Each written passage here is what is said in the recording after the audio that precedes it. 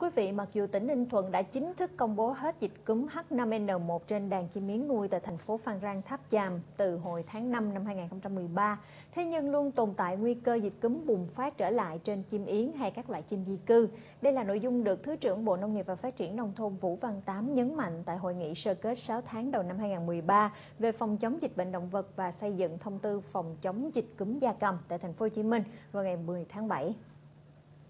Trong 6 tháng đầu năm, các tỉnh thành trên cả nước tiếp tục đối mặt với các dịch bệnh trên đàn gia cầm, heo tai xanh hay dịch lở mồm long móng tại gia súc. Lần đầu tiên Việt Nam đối mặt với dịch cúm H5N1 trên đàn chim yến nuôi khiến các tỉnh thời gian đầu khá lúng túng với việc tiêu hủy và phòng chống dịch.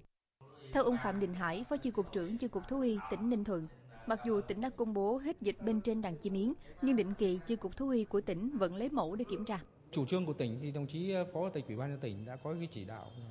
hiện nay tạm ngừng tất cả các cái cơ sở phát sinh nuôi mới trên các cái địa bàn khu dân cư và đợi cái quy hoạch được phê duyệt của các cái ờ, cơ quan chức năng. Dịch bệnh trên chim yến cũng là hồi chuông cảnh báo việc lây nhiễm dịch cúm do các loài chim di cư gây ra. Tiến sĩ Nguyễn Xuân Bình, Giám đốc Cơ quan Thú y vùng 6 cho biết, hiện tại vùng 6 bao gồm 11 tỉnh thành từ Ninh Thuận tới Bến Tre đều tiến hành kiểm tra định kỳ các khu vực nuôi chim yến, cũng như khu vực là nơi cư ngụ, di trú của các loài chim di cư từ các cái tỉnh như thành phố Hồ Chí Minh, Tiền Giang, Long An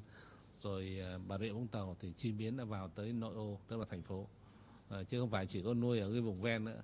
mà có lẽ đặc điểm dịch tễ chim biến này chỗ nào ồn ào thì nó lại thích làm tổ ở đó. À, cho nên là nó khó. Thế thì cái đề nghị mà chúng tôi nghĩ rằng là những cái hộ hoặc những cái nhà mà đang nuôi chim yến hiện nay đã có rồi thì phải có cái sự giám sát định kỳ.